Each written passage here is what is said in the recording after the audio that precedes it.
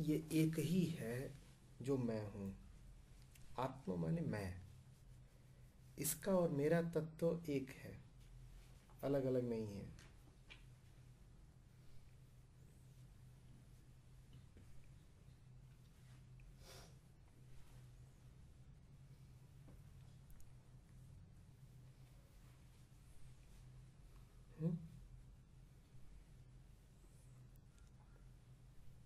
क्यों लगाया उसके स्व आत्मा है मेरा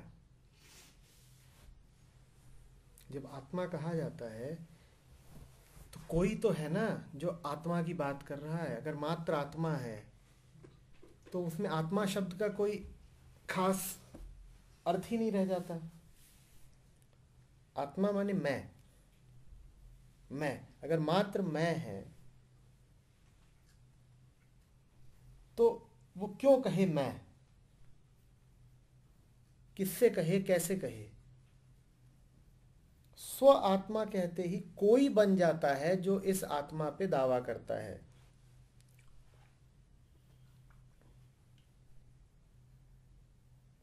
प्रतिपादित मतलब ये जो अलग दिखाई दे रहा है चारों तरफ़, जो प्रतिपादित है, जो विस्तीर्ण है। स्व माने मैं जो इससे अलग हूँ। ऐसे समझना। है अहंकार क्या हुआ?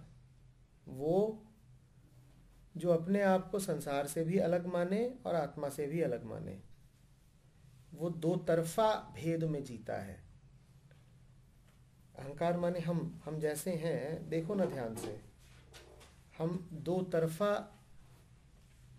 भेद, अंतर करते हैं। मैं कौन हूँ? मैं वो दरवाज़ा नहीं हूँ, मैं ये ज़मीन नहीं हूँ। मैं मेरा पड़ोसी नहीं हूँ। मैं संसार तो नहीं हूँ। हद से हद मैं ये कह देता हूँ कि मैं संसार में हूँ, पर मैं संसार तो नहीं हूँ। दूसरी ओर अहंकार अपने आप को आत्मा से भी अलग करके देखता है। अहंकार अपने आप को जितनी उपाधियाँ देता है, वो सब आत्मा पर लागू ही नहीं होती तो वो आत्मा से भी अपने आप को भिन्न देखता है। तो तुम कहते हो स्व आत्मा प्रतिपादित स्व आत्मा माने अहंकार आत्मा की बात कर रहा है। स्व। अहंकार आत्मा की बात कर रहा है और कह रहा है कि ये जो आत्मा है, यही संसार है। अभी तक वो क्या कह रहा था? कि संसार अलग, मैं अलग और आत्मा अलग।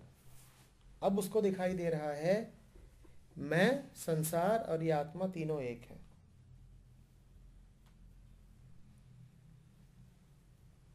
हुँ? सब जो है मेरा ही विस्तार है, मैं ही हूँ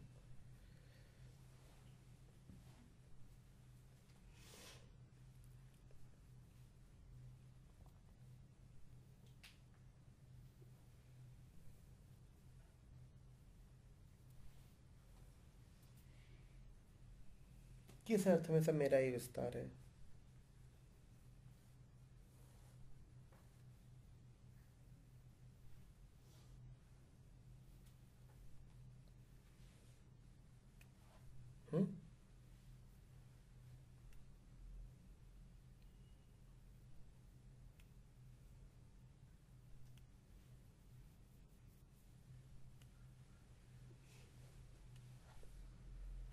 दुनिया के होने का जो आधार है, कि वो दिखाई देती है, सुनाई पड़ती है, वही मेरे होने का आधार है ना? वही तो मेरे भी होने का आधार है। इस कमरे में बिस्किट दिखाई ना पड़े तो तुम कहोगे बिस्किट नहीं है। और इस कमरे में गरिमा दिखाई ना पड़े तो तुम कहोगे गरिमा नहीं है। दोनों के होने का आधार एक ही है कि दोनों इंद्रियगत रूप से प्रतीत होते हैं। तो उस तल पर संसार और तुम एक हो, और दूसरे भी तल पर तुम और संसार एक हो। दूसरा तल क्या हुआ? कि इंद्रियाँ न रहें तो संसार और तुम दोनों शून्य हो जाते हो। जैसा कि गहरे ध्यान में होता है। संसार तो हटता ही हटता है, उस समय तुम्हें अपनी सुध भी नहीं रह जाती। लेकिन तुम होते हो। उसी होने को आत्मा कहते हैं। उसी होने को आत्मा कहते हैं। अब ये आत्मा कोई ऐसी चीज़ नहीं है, जो बाकी सबके हटने पर आ जाती है। जब कहा जाता है, स्व आत्मा प्रतिपादित तो अर्थ ये होता है कि ये आत्मा वो तत्व है जिसका विस्तार अहंकार और संसार है। जब विस्तार सिमट जाता है तो सिर्फ़ ये तत्व जलता रहता है, प्रकाशित होता रहता है। और जब विस्तार फैल जाता है तो विस्तार ही विस्तार दिखाई देता है ये तत्व तो आसानी से तब प्रतीत नहीं होता। समेट लो तो आत्मा, फैला दो तो संसार। और इसका प्रमाण मात्र ध्यान है। जो ध्यान को नहीं जानते, उनको ये बात समझ में नहीं आएगी। संसार के और अहंकार के न रहने पर भी तुम हो। ये सिर्फ़ बात नहीं है। ये एक गहरी प्रतीति होती है। और वो अनुभव करके ही जानी जा सकती है। तो इसीलिए जो लोग ध्यान को नहीं जानते, उनको ये बात जरा भी समझ में नहीं आएगी कि संसार भी ना रहे, मैं भी ना रहूँ, फिर भी मैं बचा कैसे रह गया? उसके लिए तो ध्यान का ही प्रमाण चलेगा। इसीलिए आप में से कई लोगों की शक्ल अभी जरा उड़ी उड़ी लग रही है कि ये कैसी बात है कि कुछ ना रहे तब भी मैं रहूँगा।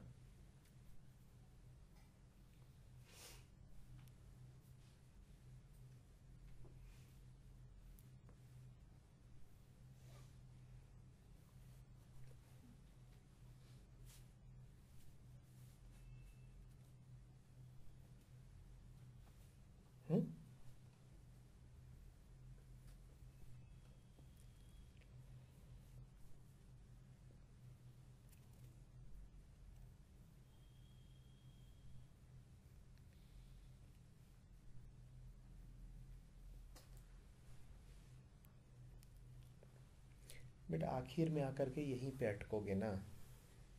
क्योंकि शब्द तो सारे वहीं तक ले आ देंगे।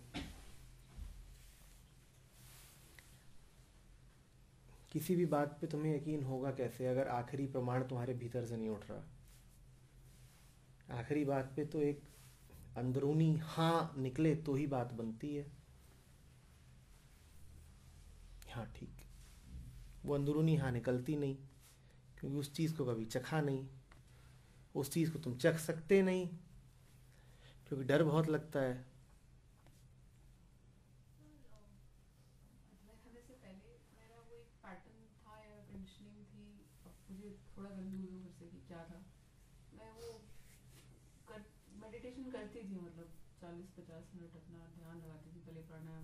मतलब फिर जब मैंने वो बार बार सुना कि एक पैटर्न है जो आप फॉलो कर रहे हो, और एक तरह की कंडीशनिंग है तो थोड़ा कंफ्यूज रहेगी।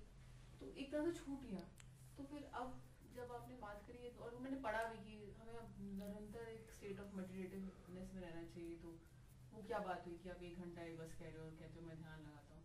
तो फिर सर, करना क्या चाहिए? मतलब लगाना चाहिए वैसे वो जो करते हैं वो एज ए पैटर्न वो फॉलो कर सकते हैं?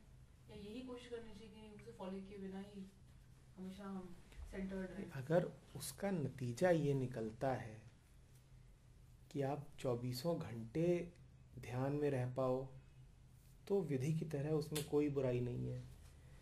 पर अगर उसका नतीजा ये निकलता है कि 40 मिनट का ध्यान और फिर 23 घंटे की बेहोशी तो बहुत बुराई है। वो तो, तो नहीं नहीं दोनों बातें हो सकती हैं ना। वो तो चित्त की दिशा पर है। एक चित्त ऐसा भी हो सकता है जो कहे कि दिन भर का कोटा निपटा दिया। दिन भर की शांति का कोटा निपटा दिया। अब मुझे लाइसेंस मिल गया है बाकी दिन भर उपद्रव का। तो फिर तो बहुत गड़बड़ हो गई।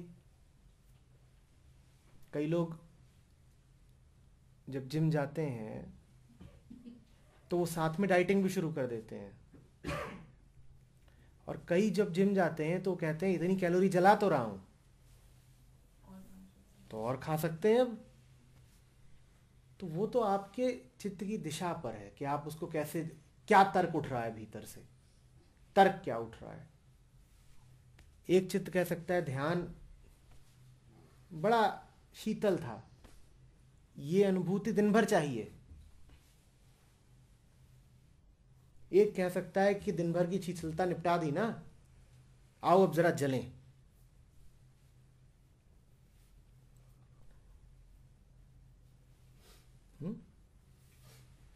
आमतौर पे हम ऐसे ही होते हैं कि निपट तो गया प्रार्थना का कोटा। अब आ जा। देखते नहीं हो? अभी अभी परेशान मत करना अभी प्रार्थना कर रहा हूँ। हाँ प्रार्थना पूरी हो गई अभी धरा। अभी क्या हुआ है? कोटा पूरा हुआ है ना? मेरे पाँच मिनट निकल गए अब आ जा।